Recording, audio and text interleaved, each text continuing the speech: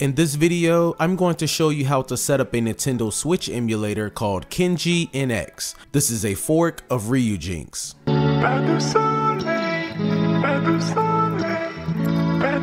Okay, let's head over to the Kenji official GitHub page. I will leave the link to this page in a pinned comment below. Once you are here, look over to the right and you will see releases and click right here.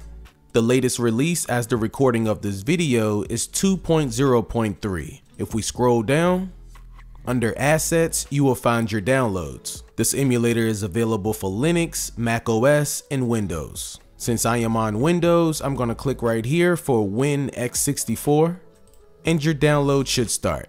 Also, the program I prefer to use to extract my files is 7-Zip. We would need this program to extract the emulator as well as any Switch ROMs you may have. I have moved the emulator file to my desktop. Now we need to extract it and this is where we're going to use 7-Zip. If you have 7-Zip installed, all you need to do is right click on the file, go to show more options, 7-Zip, and extract to Ryujinx.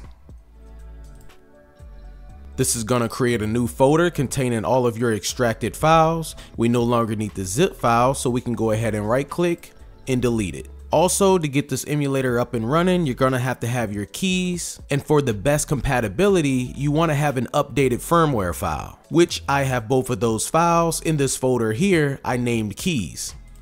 Now I am sorry I cannot tell you here where to get these two files, but if you check out my Patreon page, link in the description below, I will have a video there that can help you out. Now just like the emulator, your prod keys will have to be extracted. You will not have to extract the firmware. So let's go ahead and right click on prod keys, show more options, 7-zip, and this time extract here.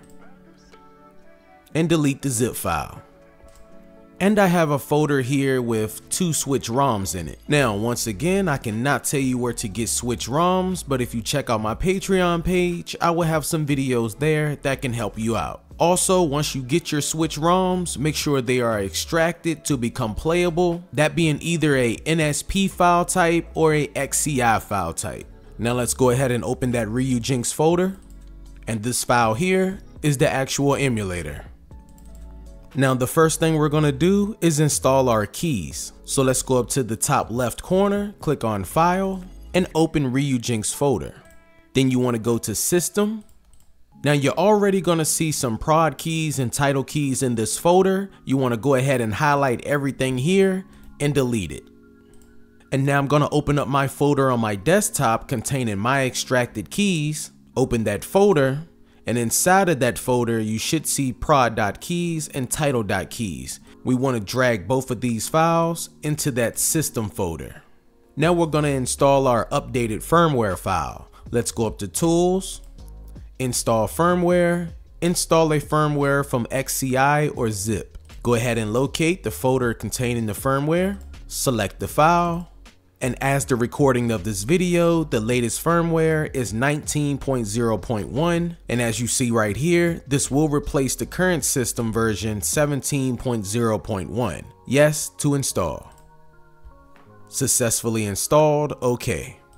Now let's go up to options, settings, under game directories, go ahead and click on add then locate the folder containing your Switch ROMs, in my case on my desktop. Now come down to the bottom right and click on apply. And if we exit out of this screen for a minute, now you can see our two games have been added to the emulator. Now let's go back up to options, settings, now I don't have any update files or DLC, but if you do have some, I recommend having them in a separate folder from your games. And to add those files to the emulator, you come down here, click on add and select the folder.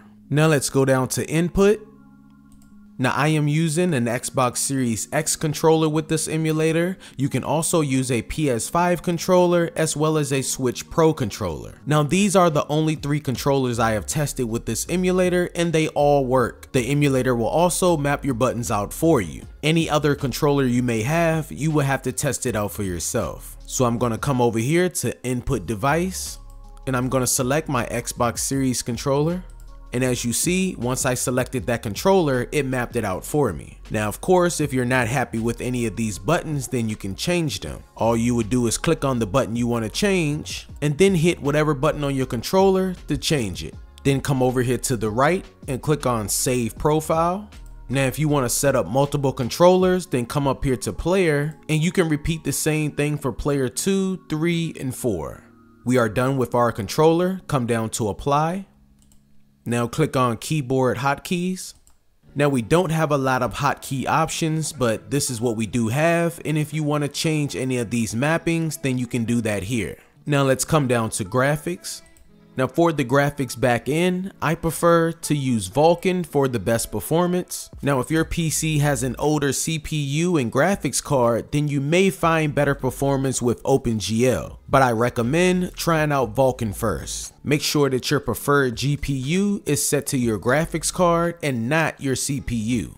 Under resolution scale, you can bump this up all the way to 4K, but once again, make sure you have a pretty decent graphics card and CPU, because if you don't, you will experience some lag and stutter. Now you will notice you're seeing two resolutions. The resolution on the left is in handheld mode and the resolution on the right is dock mode. So what you want to pay attention to is the resolution on the right. Now since my monitor is only 1080p, I'll just leave it at 1080p. For the anisotropic filtering, this will make your textures look a lot cleaner in game. You do not even have to change this, but I prefer to do at least two times to make those textures look a little bit better.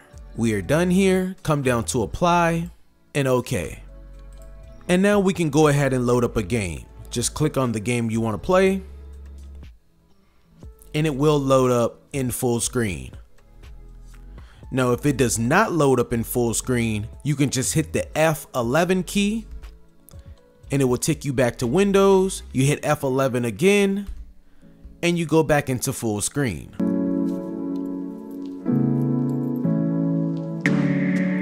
Thank you guys for watching. I hope this video was helpful. If it was, make sure to leave a like and subscribe if you haven't already.